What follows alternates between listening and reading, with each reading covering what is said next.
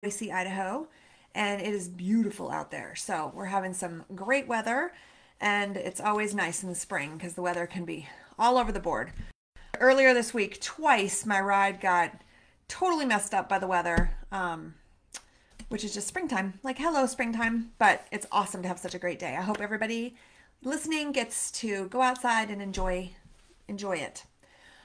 And but before you do that, let's learn about muscles. Okay, so the, I'm doing these little mini trainings. My equine fitness workshop kicks off on Tuesday, and it is a um, workshop that teaches you what goes into a, an, a fitness program for your horse and how to design one that's specific to your sport. So I'm jumping on these Facebook Lives every day um, up until it starts, doing a little mini training to give you a feel for the type of content that's in that workshop.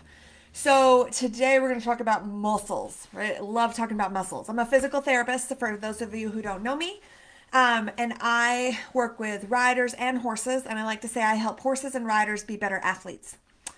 So, muscles are a big part of my world. Um, how they move, uh, how to get them stronger, how to get them longer, flexibility, rigidity, all that kind of stuff is a lot of what a physical therapist does with humans and horses. Um, when we start to talk about muscles. So let me just lay, I want to talk to you about a couple really important principles when we start to talk about um, muscle growth. Because I would say, for the most part, when you think about developing a fitness plan for your horse, like you're you're probably thinking about making them stronger. Like that's a pretty typical thing. Like, oh, my horse needs to get fitter. He needs to be stronger. He needs bigger muscles, right? I think that we make those those leaps in our mind. I will say that maybe, I mean, my answer to that is maybe, right? Like, one of the things we'll really talk about a lot in the workshop is different types of fitness. Like, you've got strength, you've got power, you've got speed, endurance, agility.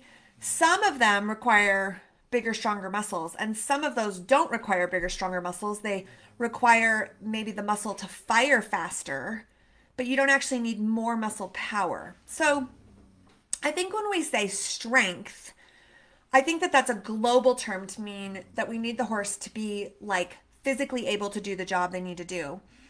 But we don't always mean, or I think you're going to, um, if you think about it for a second, you'll realize you don't always mean that the muscles need to get bigger. Um, so when we start, when I talk about muscles here, let me, let's first start by saying what kinds of actions muscles do, right?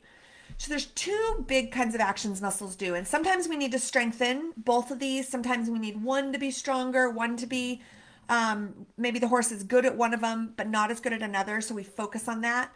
But there's two kind of types of contractions. There's a shortening contraction. So I'm going to use my bicep here because you can see it on the Facebook Live, right? But when my bicep contracts and makes my hand come up like this, that's called a concentric attract contraction or it's a shortening contraction when I let my arm go like this, my bicep is getting longer, right? So it goes from here to returning to its lengthening. And my bicep's actually doing some contracting as my arm is lengthening out to slow my arm down so it doesn't just like go uncontrollably through space. And that lengthening contraction is called an eccentric contraction. Both of those are super important to normal movement, right? Like imagine Oh, and every movement in our body, in our horse's body, is muscles are paired together. Um, sometimes more than two. It's not always that clear cut.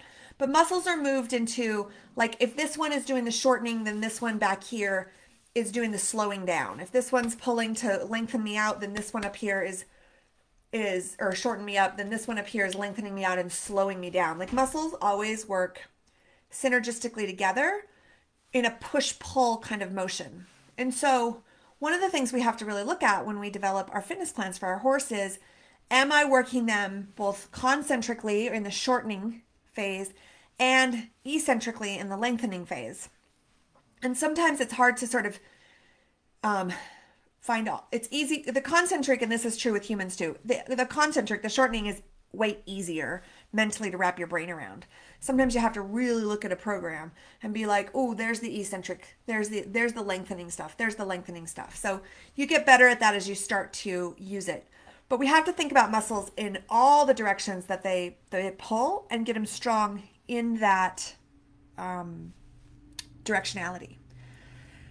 And so the question is, how do you do that? You're like, okay, I've gone through, I kind of know what my horse needs to do. Like, how do I get a muscle stronger? And it is through the same principles we've touched on um, in the two previous days on these trainings of progressive overload, right? I need to take the muscle, and again, just like I'm going to use very simple, completely made up fake numbers. Um, but let's say I have a muscle that can lift 100 pounds, and but I need that muscle to lift 130 pounds. So I, if the max that muscle can lift is 100 pounds, I'm going to get it stronger by asking it to do more. So I'm going to do, I'm going to use uh, the principles of progressive overload, right? Where I'm going to say, okay, muscle, you can do 100, but I need you to do 130. So I've got to give your, give the body, give my horse's body cues that that muscle isn't strong enough so that its body knows to direct energy into building that muscle. And so I ask that muscle to do more than 100. And it's probably really it's probably challenging, right? The horse gets tired fast. Um, they might be uh, build up a little lactic acid. Like maybe the next day they might be a little bit sore. Um, that shouldn't happen that often. We'll talk about that in the course, but but it could happen, right? Because you've done progressive overload with this muscle. And so when that when that happens though, when we ask a muscle to do a little bit more load, there's two big things that happen that help make us stronger. One is that neurologically, the the system, the body system starts to be like, "Oh, I got to like put a little more juice into that muscle so it can really work." So neurologically, we get like we can get our horse primed up so that the brain body connection actually gets a little bit strengthened. So when the nerves fire and send juice to the muscle, they send a little bit more juice effectively, right? That happens almost instantly. Like I can take a horse and work with them and I can improve their neurological recruitment of muscles in like a couple sessions. It's fast. Our brain is really quick to recognize that and respond. And that's partly because that highway is often already there. It doesn't have to be like we don't I don't have to lay down nerve necessarily right? Lay down nerve channels. They're already there. The, the brain just has to increase the gateway to them. The second in that the body actually creates um, stronger fibers in the muscle and can even add myofilaments, which are like the tiny little sections of a muscle that contract. And so if I keep asking my horse, like over time, to lift a little heavier, lift a little heavier, lift a little heavier, and my bo- the horse's body, you know, has increased the juice to the muscle neurologically, and I keep asking. Finally, the the body will be like, okay, I'll give you more muscle. I'll spend more calories to build that muscle, and we'll actually make like that that that a more dense stronger part of the horse. And so then that's the second thing that happens is that physiologically you actually get an increase in muscle mass which is super cool. That is the slower thing. The, the it's not the body doesn't that's not the first thing the body does. The first thing the body does is turn up the neurological like amplitude and then that's slower because the physiological like framework isn't actually there so it has to be built so you have to be very consistent for like at least a three week period to start to get the beginnings of true muscle gain um, and then to get like any any kind of substantial muscle gain and to hold that muscle gain, you're really looking at like easily a six to eight week period and more, right? So that's kind of the thing about progressive overload. And the art that comes in with fitness planning is the, the progressive part of it. Like any of us can go overload a horse. Like we can figure out how to create an exercise that like is hard and works their muscles, you know, to the top of their strength. If you do that too fast, you're going to make them lame. And so that's where the art comes in is in the progressive part. Like, how do I ask my horse enough to get the signaling, right? So that they will get stronger, but not so much that I put too much stress on structures that can't handle stress because I've got to let everything amp amp up. And so that's where your fitness planning really comes in is not in the overload part. I mean, the overload part is pretty easy. It's in creating the progressive overload part of stepping that horse into that strength gain. Um, and so that is, let me, I'm just looking at my notes here, making sure I've got all that. Mm, yep, that's kind of the the thing about muscles. The other big thing about muscle development is probably more so than getting other like so when you do a fitness plan, other things you're building in the body, you're building increased blood vessel supply, um, you're improving the gateways to the neurology. I kind of just talked about that a little bit. Sometimes you're even helping the horse lay down uh, neurons in their brain, like to make connections. Although that I would consider that kind of more in the training realm than the fitness realm. I'm cutting hairs here, but um, splitting hairs. What's the expression? I'm splitting hairs here. Um, but you know, probably muscle building is like the the true building component that we do when a fit we're building a fitness program along with blood vessel um, capillary bed density. And so we really have to look at nutrition. This is when you say, I want my horse to be stronger and I want my horse to have more muscle, then that is more so than if you say, like, I want my horse to be agile or I want my horse to um, ha- have good endurance. When you say, I want my horse to have, like, be stronger and have more power, it really is like in my head, I go ding, ding, ding, ding, ding. We really have to look at nutrition. You have to look at nutrition anyway with a fitness program. I mean, don't get me wrong, you can never let that that not be a variable you look at. But when you start to actually want to add muscle, you really have to start to calculate like, is my horse getting enough protein? And also, just like people, I would say this is not the time to put your horse on a diet, right?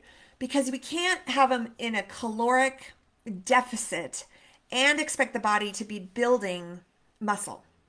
Um, it's got those two those two things don't go well together. And so this is part of the fitness program that you when you develop is you've got to phase it, right? Like let's say you your horse has had a couple months off, he's been out in the pasture, you bring him in for, you know, his riding season and he comes in like roly poly, right? So we what we do is we phase our fitness program, right? So phase 1 of the fitness program might be working on flexibility and you know getting some like basic basic movement going get get him riding and drop a little weight. But then at a certain point you're like okay now we're ready for the next step which is i want you to gain muscle. And so then we really have to turn our eye to the nutrition program and be like am i getting enough calories and specifically protein on board for the body to have the building blocks to build the muscle and I would tell you that then now we let that weight loss part go for a little bit, right? People are exactly the same. If you're um, in a fitness program and you really have a desire to gain muscle, to actually gain muscle, you have to be in a very strategic calorie um, surplus. I'm not saying you have to go like eat the house, right? Eat the whole kitchen.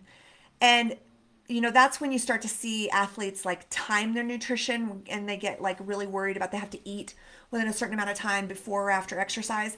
That's what they're actually doing is timing their nutrition so that they're putting their body in a smidge of a calorie surplus so that their body has the building blocks to build muscle right? And so with horses it's similar. We don't get so caught up i think in the timing of their nutrients although one could argue maybe, maybe we should but we don't. Um, but I would say, you know, you need to separate out like that idea of diet and that idea of muscle building and put them in different phases. So we will talk about that in the course too. Although I do need to just prep you, this is not a nutrition course by any means. Um, it would have to be a much longer course to cover equine nutrition. So we're really focusing on the fitness plans and I will touch on the fitness, on the nutrition stuff in the course. So if you want to take the course, I'm going to put the link in the comments. Let me know if you have any questions about what we covered today. It starts on Tuesday. It is three sessions, three Tuesdays in a row. It's a Zoom call so that you can be live on live and ask questions. If you can't make it, I will send you the recording. So don't not sign up if you're busy on Tuesdays. You'll still get the information. You can still reach out and ask me questions. It'll just be via email, so it won't be quite um, as quick of a response. Okay, everybody, have a fantastic Sunday. I hope you're having great weather and you get outside. I hope everybody is safe and healthy and washing your hands. Thanks, guys.